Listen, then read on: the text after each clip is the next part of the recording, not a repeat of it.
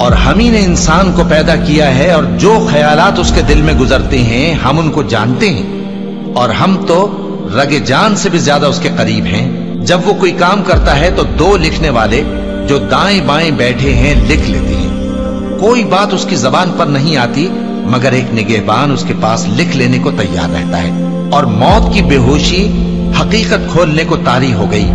ए इंसान, यही वो हालत है जिससे तू भागता था। और सूर फूका जाएगा, यही अजाब की धमकी का दिन है।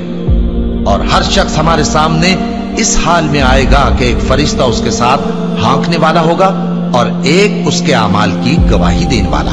ये वो दिन है कि इससे तू गाफिल हो रहा था।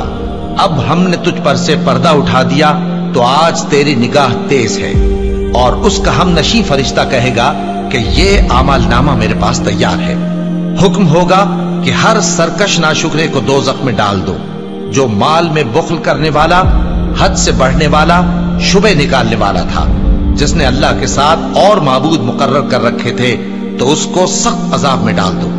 उसका साथी शैतान कहेगा कि, ऐ हमारे परवरदिगार, मैंने इसको गुमराह नहीं किया था, बल्कि ये आप ही रस्ते से दूर भटका हुआ था। अल्लाह कहेगा कि मेरे हुजूर में रद्दो कद न करो। मैं तुम्हारे पास पहले ही अजाब की वईद भेज चुका था।